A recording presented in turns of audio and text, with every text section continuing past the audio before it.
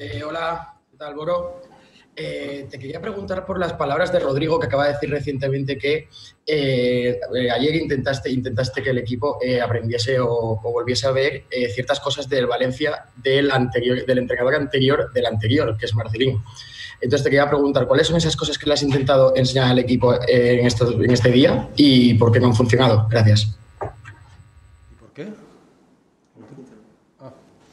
Bueno, vamos a ver. Eh, como en otras ocasiones, eh, hemos intentado eh, que el equipo anímicamente pues, tuviera la mejor predisposición para afrontar el partido.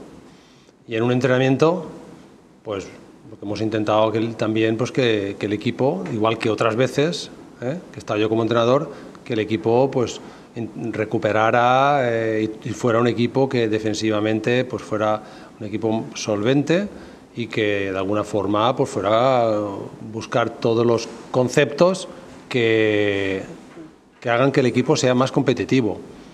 Eh, bueno, pues si Marcelino, Marcelino eh, hacía muchas cosas bien, muy, porque Marcelino es un grandísimo entrenador, pues encantado de poder copiar o imitar cosas que, que, hacía él, pero no precisamente mm, tampoco son exclusividad de él. Yo creo que mi concepto futbolístico está muy cerca ¿eh?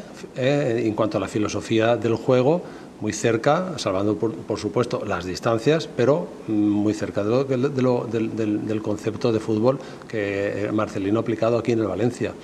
Mm, por supuesto, en un entrenamiento, eh, bueno, pues tampoco se puede hacer mucho, pero eso, como ya te he dicho, hemos intentado que el equipo, eh, bueno, pues fuera, estuviera eh, más junto, que defendiera que defendiera mejor, pero, pero bueno, no, ha sido posible. Hemos encajado dos goles, hemos perdido el partido y ha salido mal, pero bueno, hay que seguir. Siguiente pregunta para Roberto Ferriol, Plaza Deportiva. Buenas. Eh, a ver, ¿se me escucha ahora? Vale. Eh, buenas, Moro. Roberto Ferriol de, Plaza Deportiva y Radio por Valencia, en directo en Canal 7. le pregunto, Boro, por el objetivo el objetivo era Europa, sigue siendo Europa, pero cada vez es más complicado. ¿Tú ves al equipo capaz de llegar a ese objetivo y clasificarnos para Europa la temporada que viene? Bueno, el objetivo eh, en estos momentos y ayer también era eh, que el equipo pues compitiese con las máximas garantías para poder ganar, que recuperar eh, moralmente a los futbolistas, que lógicamente después de un de un, tiempo de malos resultados, y de una dinámica negativa, pues por supuesto pues, te lleva a perder confianza y por supuesto pues, pierdes efectividad.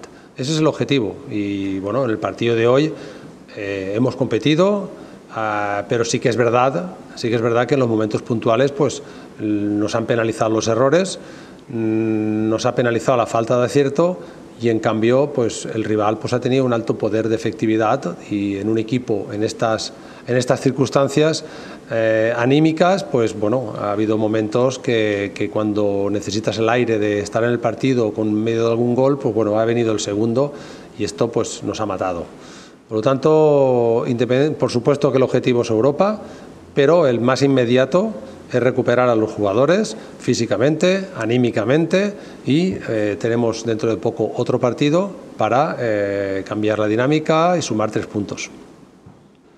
Siguiente pregunta para Nacho Sánchez, Diario As. Sí, hola, hola Boro, ¿qué tal? Buenas noches. Eh, yo, le pregunto sobre la actitud de los jugadores, si le ha gustado la actitud de todos los jugadores sobre el terreno de juego hoy, porque sí que es cierto que había unos que iban con todo, otros como Paulista, que se le ha visto un poco más pues, pues cabreado, otros que igual estaban un poco con los brazos bajados. ¿Qué valoración hace la actitud de, sus futbolistas? Gracias. Bueno, eh, yo he visto que los futbolistas han tenido buena actitud, buena actitud para competir el partido lo que tú dices de Paulista, pues lógicamente dentro de, ir perdiendo un partido, pues eh, al final pues el futbolista también eh, está enfadado y, bueno pues y actúa así. Pero esto es de tener un jugador de tener carácter de querer revertir la situación. O sea mm, el hecho de bajar la cabeza pues lógicamente vamos a ver si en un partido donde al principio hemos, hemos, hemos, entrado muy bien, hemos tenido una ocasión de, de Guedes y bueno, y luego pues eh, nos ha penalizado el error, ese gol que, que nos han marcado.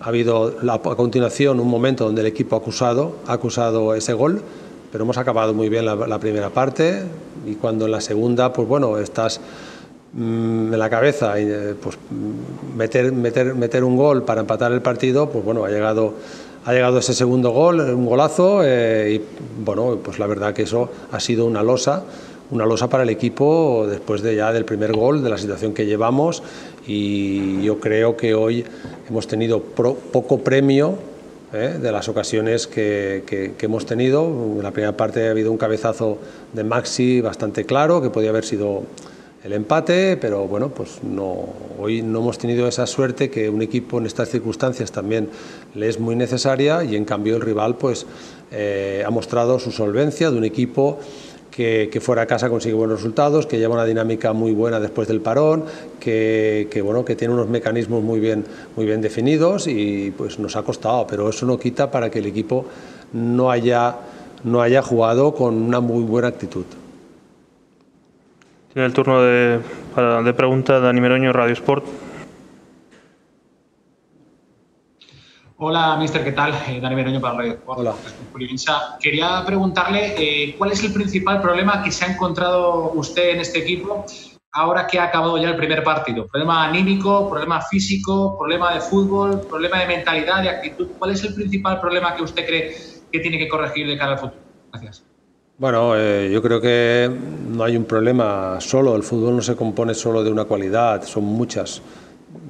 Lógicamente si ya eh, ayer hablábamos de que, de que anímicamente un equipo cuando está en una situación eh, de, que no consigue buenos resultados, cuando, cuando está, no está cumpliendo con, con, las expectativas que, el equipo tiene que tener en cuanto a posición en la tabla, resultados, que al final una cosa lleva a la otra, pues lógicamente, anímicamente estás, estás, estás muy bajo. Por lo tanto, Hoy la verdad que ha sido un golpe, un golpe duro porque, como he dicho, el equipo ha, competido y ha competido y, al final hemos perdido el partido y ese 0-2 no demuestra tampoco el, bueno, la, justicia del esfuerzo de, cada uno. Ellos han, sido, han estado más acertados, más acertados que nosotros y sobre todo pues también pues, bueno, nos han penalizado los, los, enormemente pues, los errores que, que, en un partido pues, se cometen y el rival pues, lo ha rentabilizado mucho. Vamos con la siguiente pregunta, Paco Llorezo de Radio. Hola, Boro, ¿qué tal? Buenas nit. Buenas nit. Eh, te volía preguntar si hi ha un fet que ens ha cridat molt l'atenció. En el primer quart d'hora, el València ha rebut un gol en Ipurua, eh, l'altre dia en Villarreal, i avui dos vegades, en la primera part i en la segona part. Mm, crec que és un fet que no, ja és massa coincidència i que denota un poc, no sé, si falta d'intensitat, de concentració. Quina és la teva opinió? Mm. No crec que, bueno, eh, avui eh, el primer gol ve com a conseqüència d'una pèrdua nostra en de valor. No té res que veure que siga eh, en minut X i la segona part és un golàs, eh, un tir de fora l'àrea que, que, bueno, pues, que Raúl García pues, l'ha enganxat molt bé.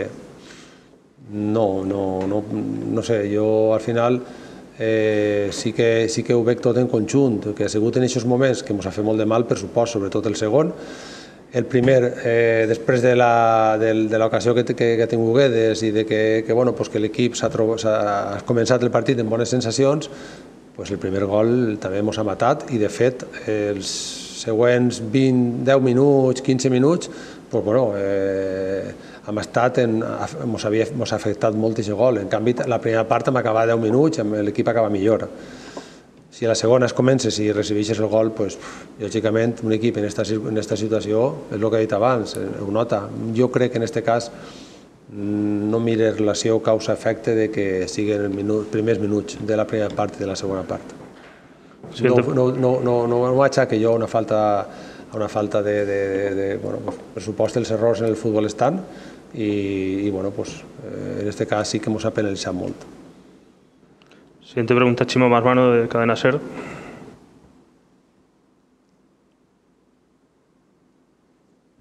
Hola, buenas noches. Buenas noches.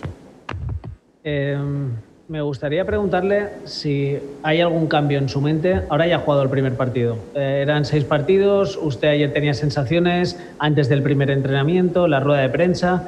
Eludía hablar del objetivo Europa League, del objetivo plaza. Ahora todavía lo sigue eludiendo y sigue hablando del corto plazo y del próximo partido. Esto recuerda más a Celades que a alguien del club o, quien haya fijado ese objetivo de Europa League. Eh, esto lo tiene usted en mente, no va a hablar en ningún momento de un puesto Europa League y sobre todo me gustaría preguntarle qué cambio hay en su mente respecto a la rueda de prensa de ayer, primer entrenamiento y primer partido en el que hemos visto que el Valencia ha sido el mismo de los últimos partidos. ¿Cree que esto es posible? Bueno, yo tampoco voy a, valorar si ha sido yo, el, mismo que los últimos partidos. Yo hoy he visto un equipo que ha competido, con, con, que hemos pagado, por lo que he dicho antes, los, los, errores los hemos pagado muy caros. En cuanto a la actitud de los futbolistas y el querer ante la dificultad de un buen rival y de la situación que llevamos, pues he visto jugadores enrabietados, jugadores que han querido. Eh, bueno, pues, no sé, yo en ese, en ese punto no estoy, no estoy de acuerdo. Tampoco voy a analizar toda, todo lo que ha sido el Valencia en esa temporada, yo desde el día del partido de hoy. Respecto al, al, al, mensaje, yo cuando hablo, cuando no, no, es que no quiera hablar de Europa League, acabo de decir hace un momento que el Valencia tiene que aspirar a estar en Europa y, que ahora no estamos en una, una, posición, una posición acorde al potencial de la plantilla y lo que este equipo, lo que este equipo ha, ha demostrado. Eh, hablo a corto plazo no para eludir ese objetivo, que todo el mundo lo tenemos en mente, sino porque, eh, bueno, pues para mí lo más importante es recuperar anímicamente a la gente después de una situación, de una situación de que, bueno, que el equipo últimamente pues no, no está teniendo buenos resultados y para mí ese es el punto de partida para poder empezar a sumar puntos y esos puntos te darán eh, estar donde, donde, donde podamos llegar. Pero lógicamente pues, el objetivo del Valencia es por supuesto estar en Europa. La Champions, por supuesto, que ya estaba súper pues, difícil, ahora más. Eh, bueno, pues por supuesto que, que el equipo tiene que, pero para mí es más importante no poner el foco a tan largo plazo y sí en el, plazo más corto de cara a centrarse más en objetivos a corto, que luego lo otro, si, si ahora estás bien, lo otro llegará. Vamos con Luis Cortés, Radio Marca. Eh, hola, eh, hola, mister, ¿qué tal? Hola. Eh, buenas noches. has hablado de los objetivos de estar en Europa la temporada que viene. Ahora mismo esa ilusión quizá pasa por su figura, por la del nuevo entrenador. No sé qué argumentos eh, tiene ahora mismo el Valencia o le puede dar usted a la afición para que consiga llegar a la UEFA Europa League y terminar lo mejor posible la temporada. Después de las últimas tres derrotas, ¿qué argumentos le da Boro, que es la persona que le puede hacer ilusionar a la afición para conseguir el objetivo europeo? Gracias. Bueno, los argumentos, igual que, dice, que dije ayer, eh, es eh, recuperar a los jugadores, competir con garantías de estar en el partido siempre y de poder ganar los partidos. Es lo mínimo para poder conseguir otras cosas. O sea, no podemos empezar a hacer cuentas de, cuántos partidos quedan, cuántos puntos nos hacen falta. Sí, hoy era una oportunidad, la primera, para sumar y no lo hemos hecho. Y a pesar de que, como he dicho antes, las circunstancias que nos han llevado hoy a perder. Eh, mensaje, pues que lo vamos a intentar, que vamos a, pelear todos los partidos para que el equipo esté en Europa League. Mm, estamos obligados a ellos y vamos a intentarlo porque no hay otra. Eh, los jugadores son profesionales. Yo he visto un vestuario cabizbajo, una actitud, una actitud eh, positiva en cuanto al, al prepartido y lo que he visto en el terreno de juego. Por lo tanto, mm, esto es lo único que, lo único que, se puede, el mensaje que hay que lanzar a la, a la, afición, lo dije ayer, no veo, no veo otro. Sergi Martínez, nuestro sport.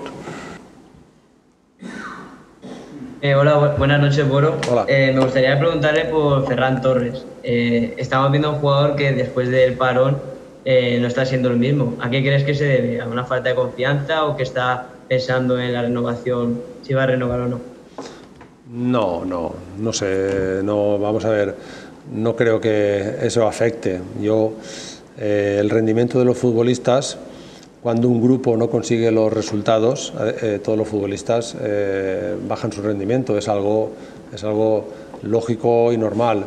Y bueno, pues Ferran pues ha tenido épocas mejores, ahora pues bueno, es, bueno, pues hoy ha hecho ha hecho un trabajo eh, mientras está en el terreno de juego, un buen trabajo con lo, que, lo que, con lo que le hemos dicho, pero en ningún momento pienso que su rendimiento X esté influenciado por, por esto, no sé, yo no me puedo meter en su cabeza, pero entiendo que yo veo la voluntad del chaval de, de, intentar competir y de intentar rendir.